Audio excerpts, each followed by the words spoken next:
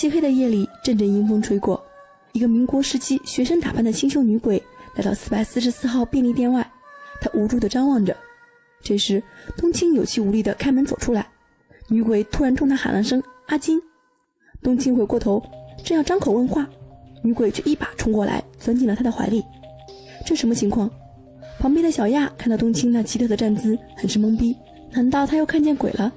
赶来的赵丽告诉他们，女鬼的名字叫彩琴，是我们冥界有名的鬼魂钉子户，死了七十多年，咋都不愿意投胎转世，说是在人间还有情缘未了。冥界看他这般执着，就答应每年放他两天假，让他回到阳间。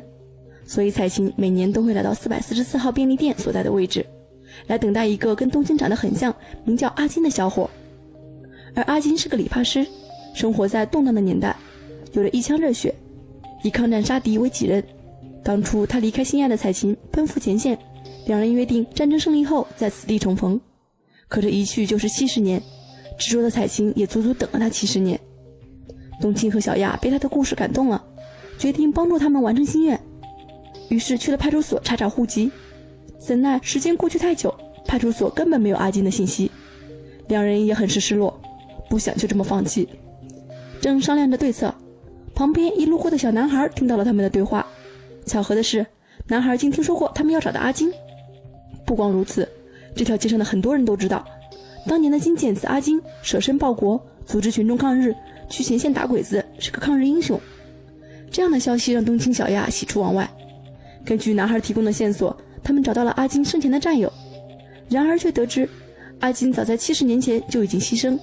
他们只带回了阿金的遗物，一套理发的工具和一张彩琴的照片。可该怎样把这样的消息告诉彩琴呢？冬青很是头疼。为了帮助彩琴完成夙愿，机灵的小亚想到了一个点子。到了晚上，只见冬青一副阿金的打扮。来到四百四十四号便利店外，和彩琴完成了重逢，并带她在焕然一新的北平城逛了又逛。望着灯火辉煌的城市，彩琴很是幸福。七十年的等待没有让她失望，但她知道眼前的人并不是阿金，也突然想到自己早在阿金去前线的第一年便生病死去。从东京口中得知阿金当年没能赴约的真相后，彩琴也释然了。当第二天的曙光出现时，他已经悄然离去。